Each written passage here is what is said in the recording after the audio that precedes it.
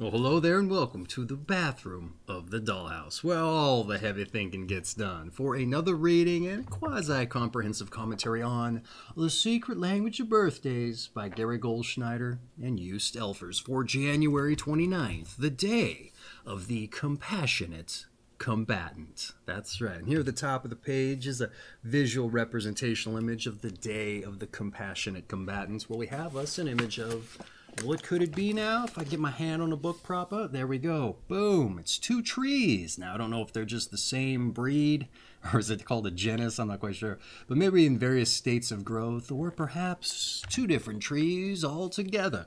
Uh, could be an oak or a hickory, maybe a maple. I don't know. I'm not an arborist or a botanist, whatever particular field of study figuring out tree identification would be. But that being said, it's not altogether all too important in the scheme of things.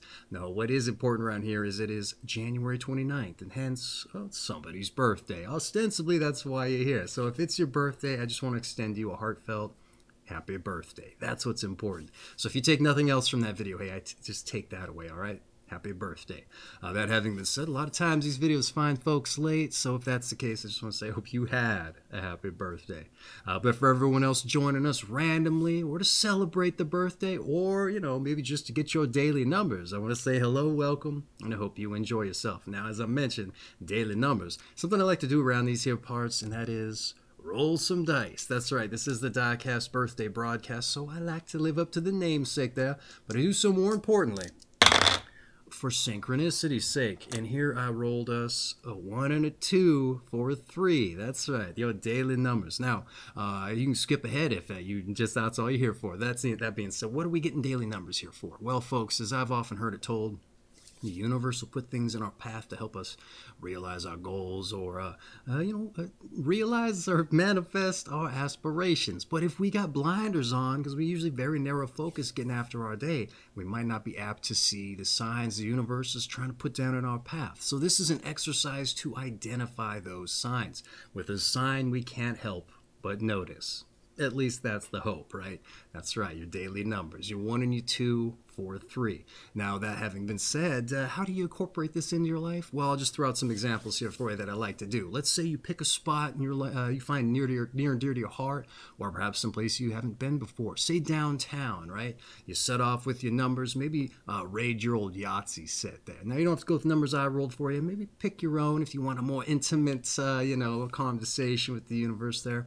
But you can use the dice to ascribe directional values to number sets as well as time limits with which to go in those directions. But once you've established all those things, uh, you know what? Get those blinders off, like I said, and start soaking things up like a sponge because you never know the day might start to take on a theme, and that might be how you start to recognize you're on the right path there. And, and all of this, you're kind of letting the universe take the wheel for you too, not just looking for signs. So once you find your spot, you take off from it like I said, start soaking things up. Maybe you happen to see, I don't know, not just trees if we're going by the visual representational image, because trees are everywhere, are they not? Unless you're in some uh, brusque city or as a brutalist style city architecture wise. Everything's just a big block of concrete, I feel like. Maybe then seeing trees is a little bit of a novel notion. Uh, that said, maybe you see them in forms that aren't like uh, what you call tangible. No, tangible say, but maybe uh, not not real trees. Maybe they're used as advertisements on bus benches or as murals on the side of buildings that you're passing by. There you go. I would take that as a sign you're on the right path. If that's something that starts creeping into your day. Uh, that said, maybe at the end of your first time value, you're not seeing anything that stands out. It's just the everyday goings on. Well, never fret. You know what? Maybe just take a moment to look around, see what's going on. Maybe you just so happen to notice something small, like you're on 3rd Avenue. That's right. Or 12th Avenue, whatever the case may be.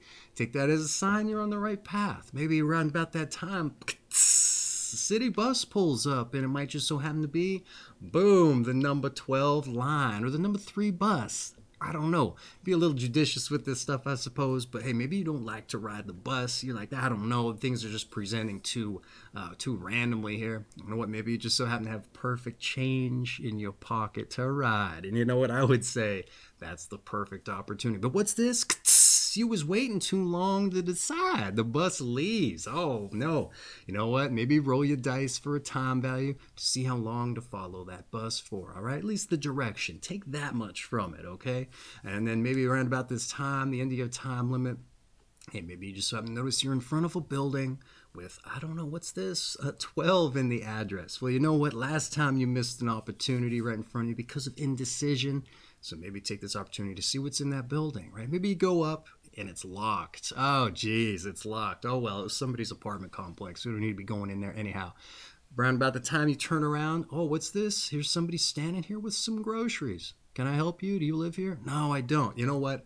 Just be open, transparent about what you're doing. Show them your dice. Show them this video. I'm just here because of synchronicity. And like, what are you talking about? Hey, you've got the tools to get yourself off the hook from looking weird or like a stalker, say.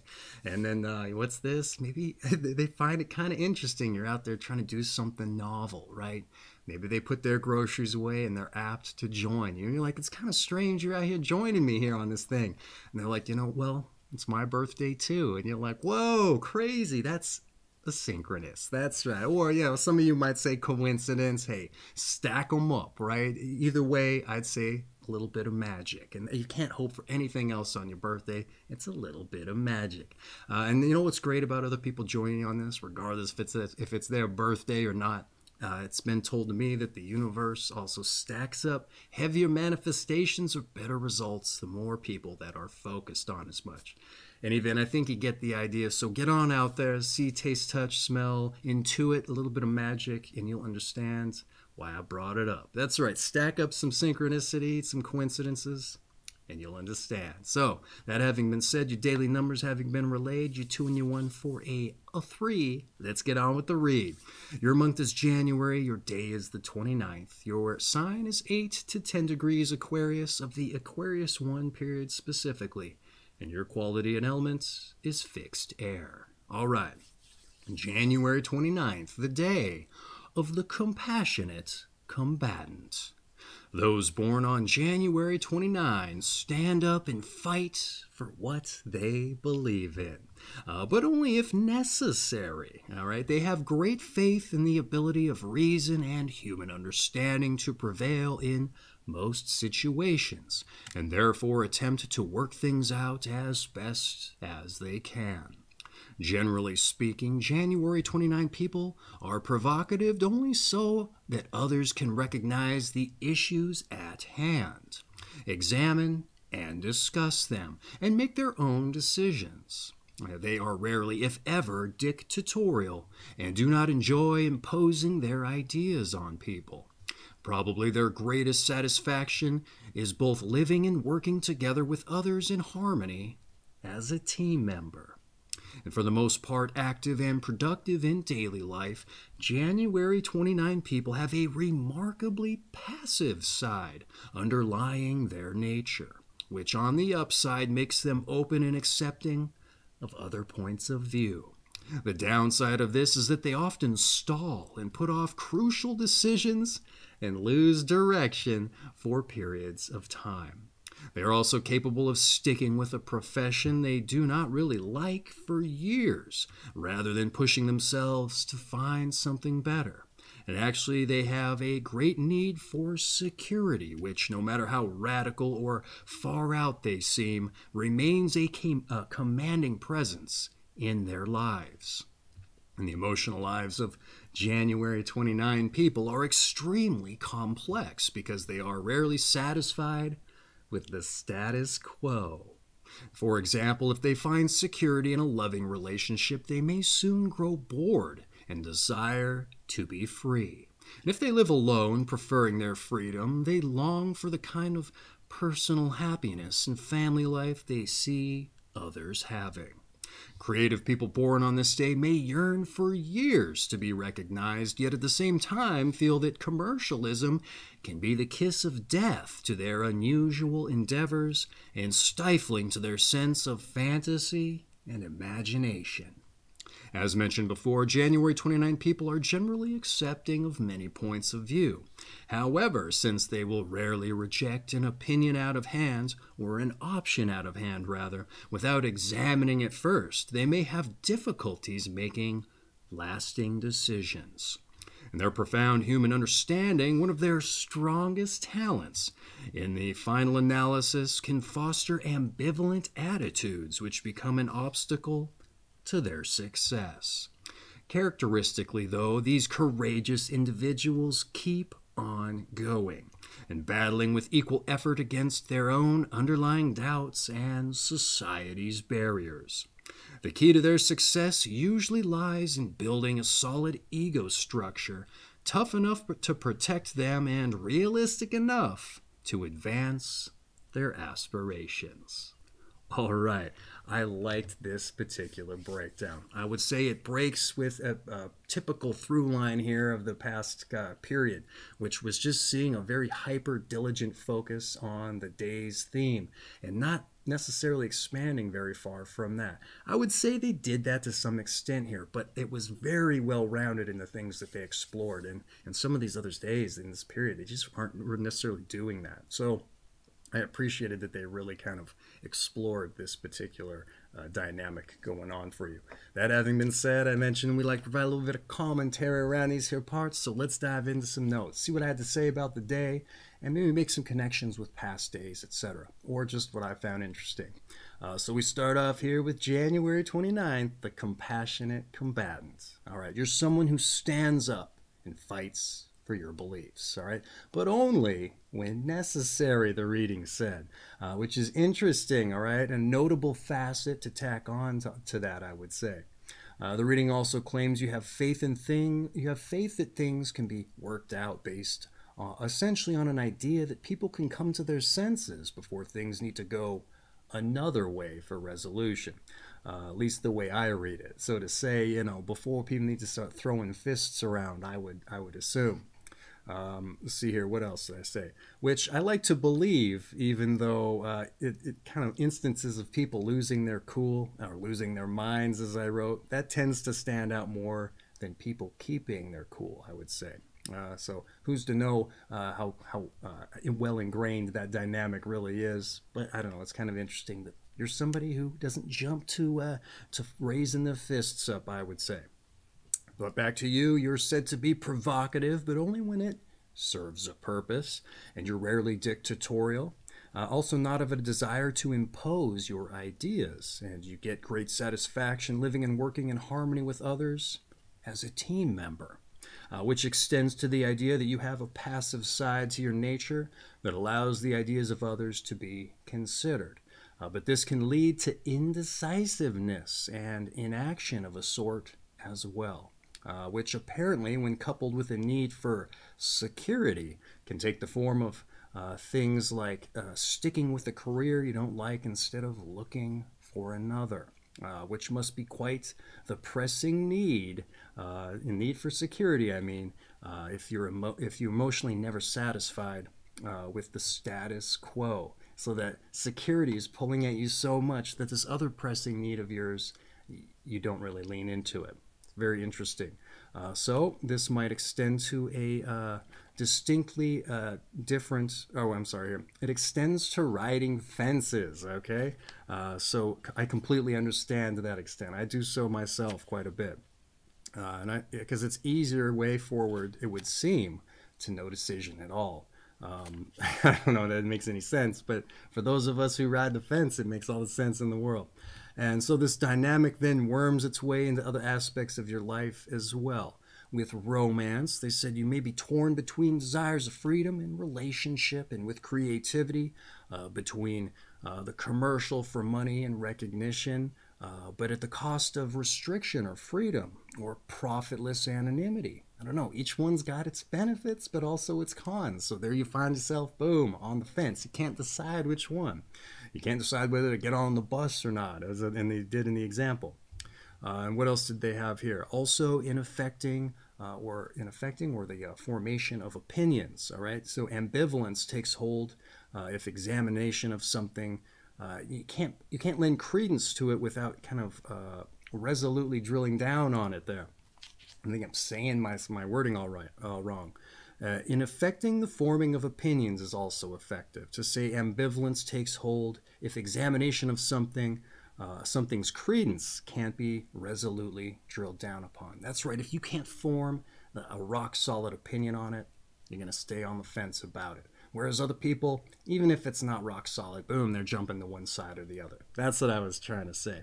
And I'm the kind of person that's like, man, if it's not rock solid, I'm not going to I'm not going to drill down on it. Sorry, I'm up on the fence, I stay. And so that's kind of the idea I'm getting here from the breakdown. So I totally appreciate it, but I see the flaw in it, all right? Uh, and I know such things all too well here. I just said that. And it wasn't even a part of my birthday. So it must be infinitely harder for you if it's mentioned as being something that's a big uh, aspect of your life.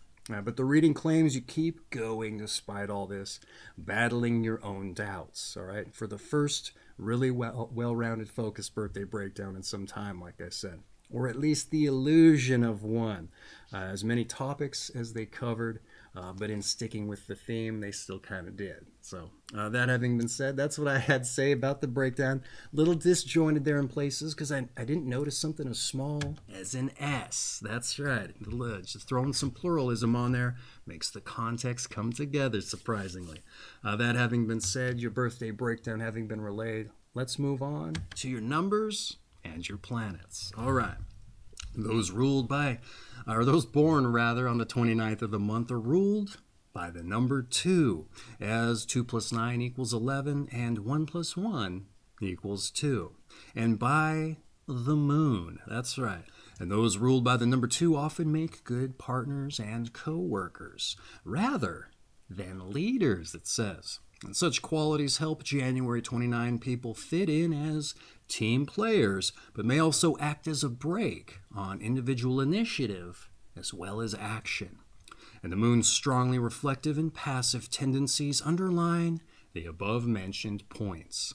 And a strong connection between the moon and Uranus, uh, the ruler of Aquarius, can lend independence and idealism, but also produce an emotionally erratic nature that finds it hard or impossible to settle down domestically.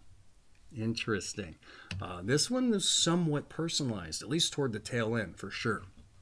Uh, but the rest of it, uh, I don't know, copy paste job, at least in, insofar as the moon was concerned, but it's dynamic with Uranus. That's a little bit specific, and I don't know that we've come into that before. That said, let's dive back into the notes. I might be getting ahead of myself on saying such things here. So, the number two in the moon for a good worker partner dynamic rather than a leader. And I would say more often than not, this dynamic doesn't really seem to apply, or it's hard to kind of justify in the scheme of what was relayed in the breakdown. Uh, but based on the breakdown here today, uh, they say as much pretty directly, all right? And they also mention uh, reflective and passive natures. Uh, for maybe the most shining example I've come across of a numbers and planets day, essentially informing the breakdown. Uh, but the, the reading uh, or having said that, rather, the reading claims Uranus's erratic and explosive traits form a strong connection with the moon.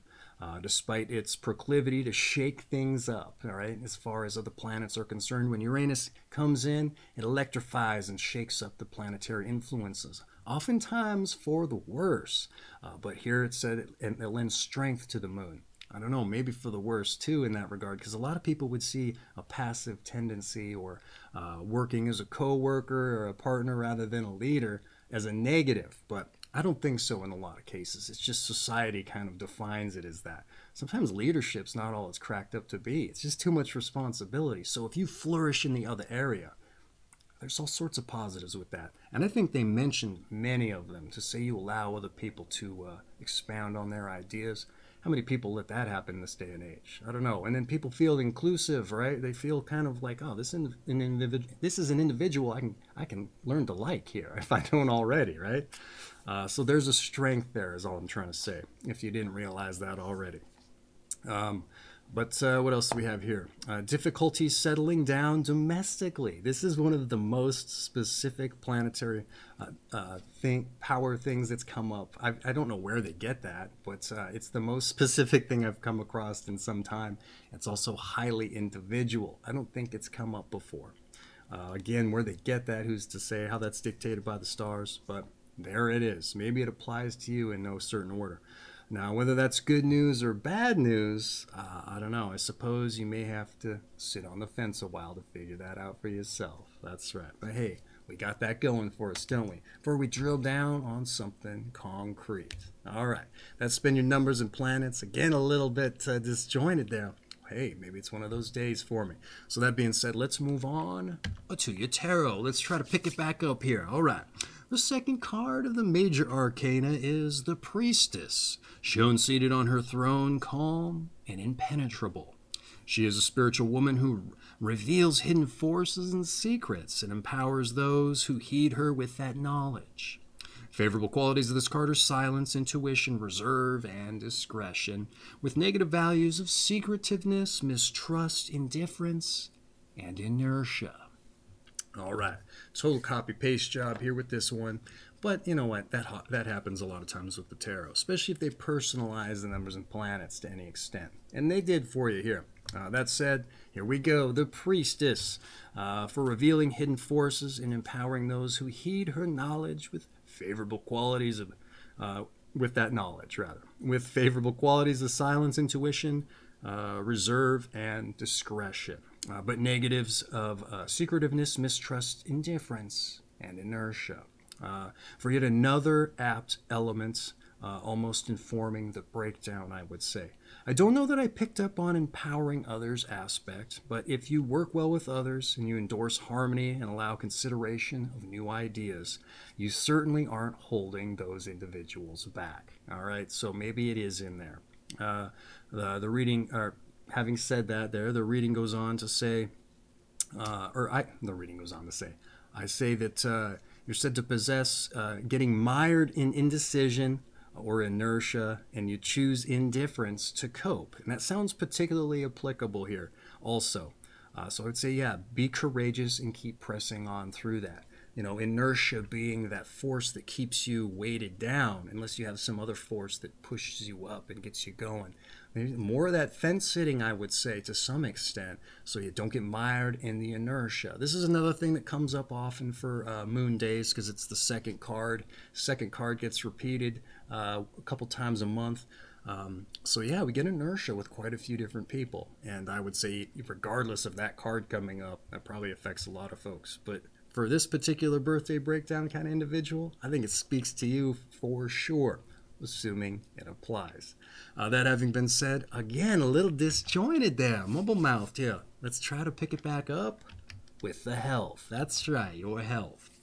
Those born on January 29 may experience all kinds of physical difficulties adjusting to their environment, most notably allergies and it can help for January 29 people to cut down on mucus producing foods in their diet, notably milk and dairy products. Those born on this day may also suffer from hemorrhoids, apparently, or varicose veins in their legs, which should be treated earlier rather than later, and not necessarily with medication, but with perhaps a change in habits, such as reducing uh, reduction rather in red meat consumption and fewer uninterrupted periods of standing or sitting. Red meat for for hemorrhoids or varicose veins? Oh, that's interesting. All right. Regular, moderate, or vigorous physical exercise is highly beneficial to the circulatory system and should be con- continued right through middle age into seniority if possible. And as far as diet is concerned, January 29 people should avoid excess consumption of fats and, of course, any foods to which they are allergic. That's right, a little common sense there, all right? Don't eat the things you know you're allergic to. I'm assuming that's what they go you're going after there. All right, back to the notes. Let's see how much I mumble this one up here. Let's get it. Uh, let's see your notes here for your health. Um, experience difficulty adjusting to your environment. All right, allergies and mucus and the like, they said. Uh, mucus is new, at least suffering from it. Uh, you know what? Maybe not new, but it hasn't come up very often, maybe once or twice uh, and since I started doing these reads. Hemorrhoids are new for this in that respect, also. All right, uh, so so much for fence sitting, I would say, or it makes it rather difficult to do. Uh, circulatory issues, however, are an Aquarius body area uh, issue. Lower legs are a concern for Aquarius folks too, particularly the ankles. So uh, uh perhaps varicose veins kind of factors in in, in that respect. Uh, how, how that's realized outside of risk for stroke. I, uh, I guess varicose veins, right? Though I don't think that's come up before, so there's a new entry for you. How those are treated, I'm not quite sure. I've been talking about compression socks for the uh, avoidance of stroke because stroke and embolism's been coming up. Uh, maybe compression socks help with varicose veins. I'm not sure. Uh, I don't think they. Med- I don't think medication works for that. Any event. Moving on. Uh, what else do we have here? Where the piles factor in, uh, there's no telling. Does the moon inspire that? Uranus shaking things up? Maybe Uranus. That's right. All explosive and erratic jokes aside, again probably makes sitting on the fence a bit harder there. So there you go. You're going to get off your ass and do a little more standing. Uh, you know, you're not going to be doing less standing if you got the piles going on there. So red meat and dairy, they say to excise from your diet. I don't uh, dairy for the um, the mucus. It sounds like again, I don't know where that's coming from. Uh, but the uh, red meat, I would assume it's to cut out the cholesterol in your diet. This came up for Capricorn too, because one of their body areas was the veins. And so for you, circulatory system, very close, I would say. So cut out the cholesterol, maybe, give your heart a little bit of a break. Now, what else do we have here? Uh, changing and standing and sitting habits. They recommend vigorous exercise uh, for as long as possible. That's a new facet there. They don't tend to bring up uh, stages in your life when you should be carrying through with it. So maybe take note of that. Uh, so this is a highly novel health entry to some extent, even though I've pretty much butchered it there for you. it's a uh, lot of specificity. So again, maybe take note. But that's been your health. So let's move on to some advice. All right. It says here with your advice, you need to toughen up a bit. The easiest way is not always the best way. Don't insist that you can do without. Express your wants and expect others to do the same. And how will anyone know if you don't tell them? Question mark there. All right. This was, uh, you know, I, I've been just joining my notes here for you today. This was a rather disjointed piece of advice, I would argue.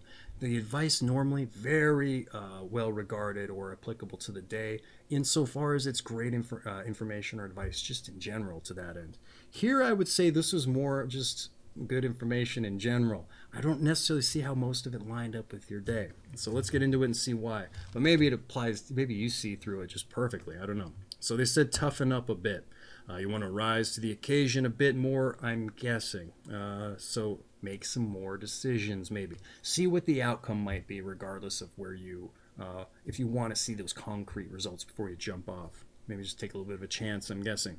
Uh, the easiest way is not the best. See, I'm not quite sure I picked up on this being something for you, uh, unless it's it speaks to that security that you drill down on instead of going after uh, your happiness more so.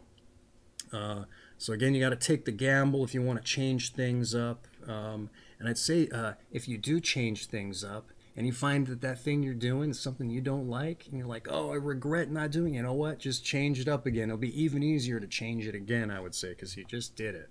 Um, what else here? Uh, if it isn't working for the better even easier. All right. Don't insist you can do without. Express your wants. I'd say it's understandable even admirable to go without something sometimes uh, but to the point of martyrdom uh, you know, it seems a bit unnecessary. And I don't know that I really picked up on you doing without. Again, maybe that's just having to read between the lines again. So, you know, it's just things like this where I kind of got to do homework to make it fit.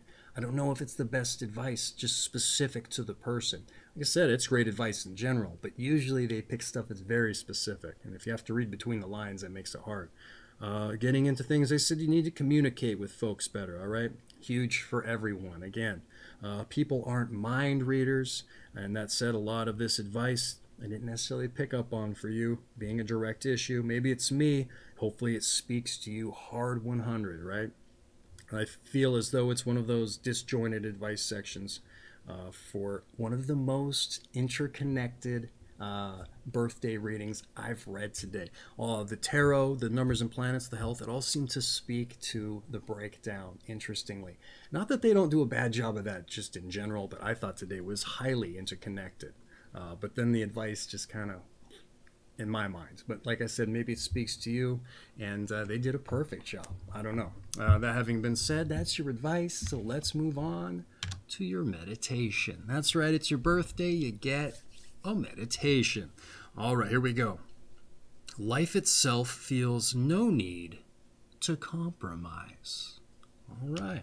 I don't know what to make of that one. Once more here.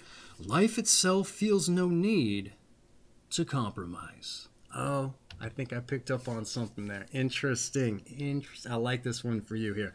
They they reconciled the advice that I didn't think was the greatest. All right. Hey, you know what? That's your meditation, but it's your birthday, so that's just for you. I'm not going to provide what what I took from it for you there. Uh, it would kind of defeat the purpose now, wouldn't it? That's it. Once more here. Life itself feels no need to compromise. All right. That's your uh, birthday, your meditation. Let's move on to your strengths and your weaknesses. That's right. Let's see where you got the bulk and where you otherwise a little more atrophied, if you like, or don't like more specifically. Your strengths, you're reasonable, you're social, and you're fun loving. Interesting. I don't know that I necessarily picked up on fun loving. Uh, not to say it wasn't there. I just, as a strength, Interesting. But your weaknesses, oh, let's hold up that objective mirror, but flip it to the side that blows up your face. Maybe shows off some of the things you're more uh, superficially insecure about, in, in one way of speaking there, looking at it. That's right, your weaknesses. All right.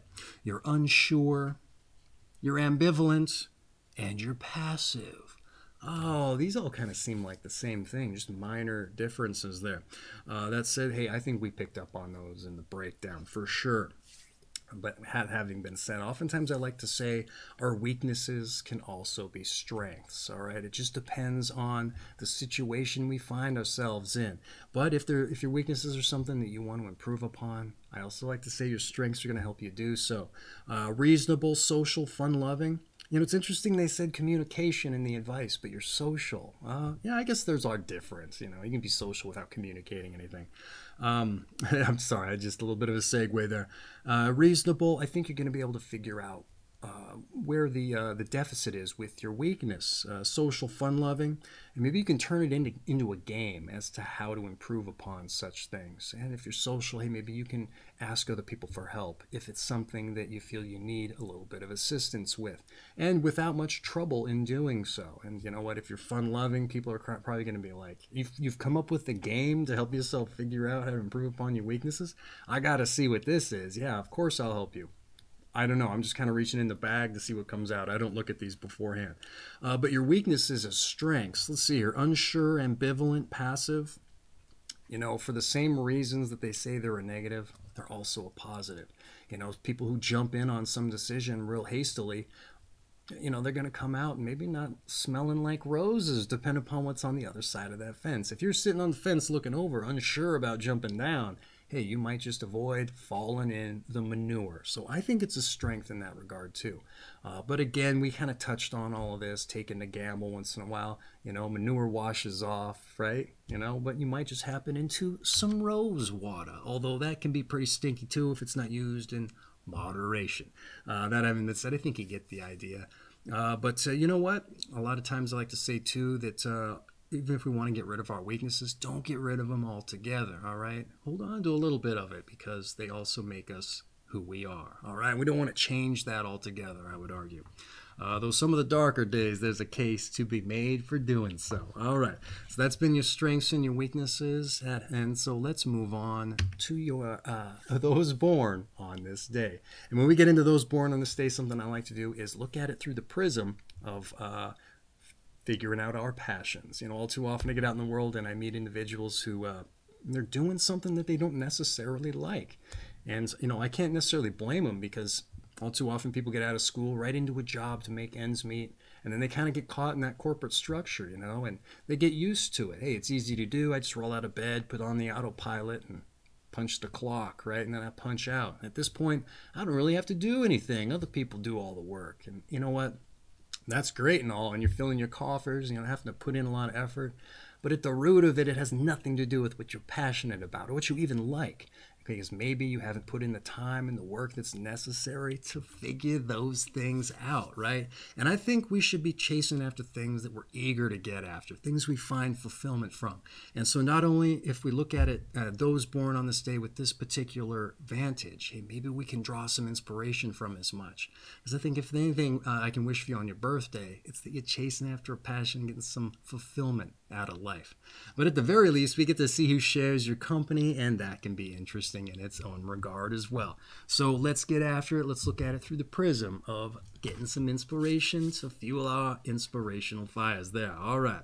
Our, our fires for a passion. All right. We start off with Thomas Paine, the British born American revolutionary leader and a political theorist, as well as a writer of common sense. We also have Anton Chekhov, a Russian short story writer and a playwright of The Cherry Orchard, and was also a physician. We also have William McKinley, the U.S. president, imperialist, and a Spanish of uh, the Spanish-American War, and he annexed the Philippines, Puerto Rico, as well as Guam.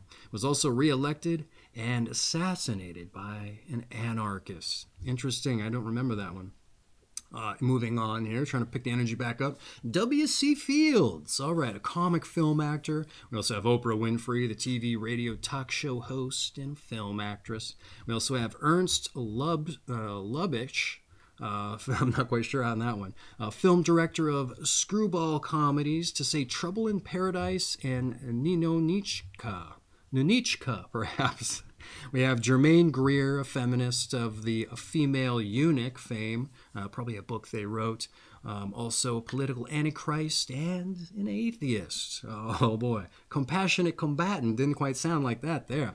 Greg Louganis, the U.S. Olympic four gold medal winning diver, uh, both a platform and springboard. We also have Paddy uh, Chayefsky, a New York playwright and screenwriter of network fame. Uh, Romain Rolland, a French Nobel Prize winning biographer of Michelangelo fame. We also have Barnett Newman, color field painter. I think that's the first one I've seen of that happen. Uh, Katharine Ross, a film actress. John D. Rockefeller Jr., an heir and philanthropist. Tom Selleck, the film and TV actor of Magnum PI fame. We also have uh, Norio Ohga, a Sony corporate head. We also have Abdus Salam, Pakistani Nobel Prize winning physicist and an elementary of elementary particles. And we also have Mary Lee Jobe Ekeli, uh, uh, I guess so, A K E L E Y, African explorer and photographer. John Forsyth, film and TV actor. Luigi Nono, uh, I'm, I'm, guessing that's how it's pronounced, just how it's spelled. Italian 20th century composer, and Frederic Delius, uh, British composer. The names today, let me tell you something, they got me all over the place today. But hey, we endeavored through, we kept pushing, just like you got the recommendation. But hey, let me butcher uh, some things on my side of things to make up for it. It's not done in malice. It's just hooked on phonics. Doesn't often work with me with the names there, as you as you could tell. Uh, that having been said, I know it's a big ask, tall order to take inspiration from somebody else's accomplishments. But like I said, maybe we can just put the, the seed or the kernel to grow the tree. Uh, you know what? Then I'd say that's all worth it, all right? Because if we should be chasing after our passions, eager to find something we get fulfillment from, all right? And maybe we have that in our lives, we just don't know how to make it financially viable. Well, hey, that takes work and time to figure out as well. So maybe I'm stirring up the fires for you to get after that, all right? Get after it, all right? But if you've done all of that, well, then the hat I'm not wearing is off to you, all right? Keep going after it, all right? Uh, that having been said, uh, the, those born on this day having been relayed, that essentially rounds out your birthday read. Except to say your season is winter, your sign once again is Aquarius, the Aquarius 1 period specifically. And your quality and elements is fixed air. That's right. And this has been January 29th, the day of the compassionate combatants. From The Secret Language of Birthdays by Gary Goldschneider and Joost Elffers. I have an affiliate link for this book down in the description if you're interested in picking up a copy. Makes an excellent coffee table book. Is an icebreaker at parties. They'll save you the hassle having to type it in a browser there if you're interested and supports the channel in the bargain. I'm telling you what, break this thing out during a party. It's going to get the conversation started for better or for worse, but it's going to get it flowing. And that's how you want to get a party started, right? Uh, that having been said, the uh, the book having been relayed, it's not altogether all too important here in the scheme of things. In the scheme of things, being that's right, it's your birthday. So once again, I just want to wish you a happy birthday. My read and my notes aside, that's what's important here, and that's what I hope you take away from as much. Have a happy birthday, all right? But for everybody else who joined us here, I hope you got some entertainment if you're a return viewer. Me mucking up the copy there. Hey, you know what? It happens sometimes, but we must endeavor through, as you as the reading said. All right, and uh, I enjoyed it too. I enjoy finding myself messing things up that I've done so many times before. Sometimes it just doesn't connect, but you know what? We have to press on, as I said, and I hope you got some enjoyment out of it. I know I did. You probably see my my smile on my face as I got on with the read after doing as much. I hope you took some uh, some entertainment value out of that. All right. So that having been said before, I forget your daily numbers. All right. You're one and you two for three. Get out there and let the universe show you it's with you on your path there. Um, like I said, you drum up some synchronicities, stack up some coincidences. You'll understand the uh, magic that can be found in it. All right. And if anything, you take a little bit of solace in knowing that the universe is with you on your path. All right. Uh, so once again, I just want to say happy birthday. I want to thank you for the pleasure of your time. Um, it's been a pleasure and the uh, privilege of sharing your birthday with you. All right. So watch out for them hemorrhoids if that's a real thing. I don't know. I can't imagine the moon or Uranus has any kind of influence on that. All joking names aside of planets and how that relates to a specific part of the body, notwithstanding. that's so pretty ironic there to that end. Like I said, first time I think it came up. But mind you, the compression socks. Yeah, maybe get yourself a pair out there on your journey if you decide to get your steps in, all right? Prevent them varicose veins early. They look unsightly on folk. That's right. Hey, once again, happy birthday and take care of yourselves, all right?